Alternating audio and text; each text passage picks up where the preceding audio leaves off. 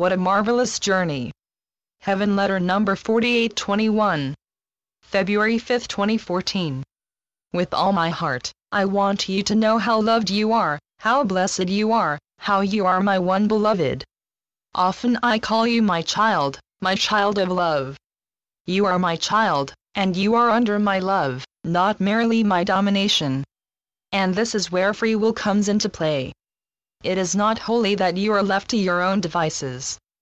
Guardian angels, who are beautiful rays of my energy, watch over you, stubborn you, who think you are on one journey when you are really on another. Surely, your journey is more than making a living, more than finding your fortune on earth, more than building a house, more than what is called success.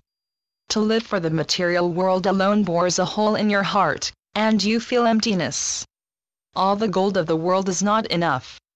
All the accumulation of even knowledge is not enough. Now listen carefully, nor are the blessings of the world at large to be turned away from. You do not have to deny them. Only they are not your sole reason for being. You are more than material. You are also soul. Look, you climb the hill you are on. You yearn to reach the top. As you climb, you eat the berries you find on your way. If the hill you climb has a railing that helps you up, you do not refuse it because it is less than your ultimate goal. You are not so high and mighty that you wouldn't choose the railing or eat the berries along the way. You are, in fact, humble. If there are road signs along the hill you climb, you read them. If someone reaches down to help you up, you accept. No one has to offer you his hand. You, however, will offer your hand to others. Others might be called the sirens as in Greek drama. The sirens wish to delay the adventurers on their journey. You keep climbing. You keep your eye on the target, however, and nothing dissuades you. You are a great adventurer in this journey of life you take.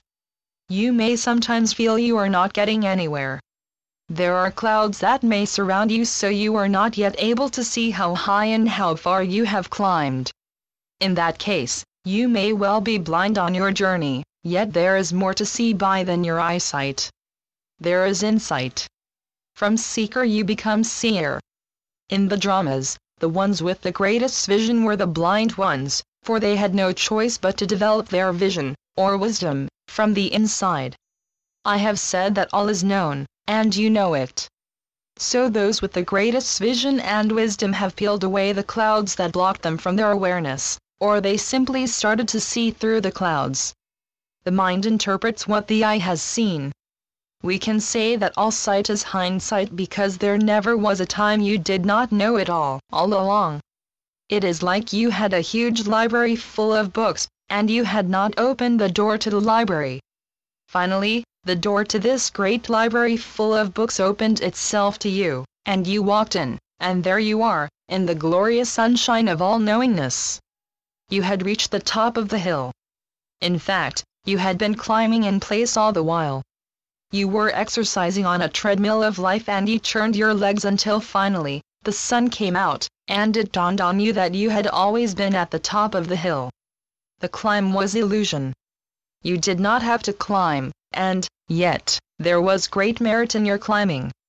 When you recognized that you were at the summit, you could look down and then look up and say, what a marvelous journey I have been on. Channeled by Gloria Wendroff. HeavenLetters.org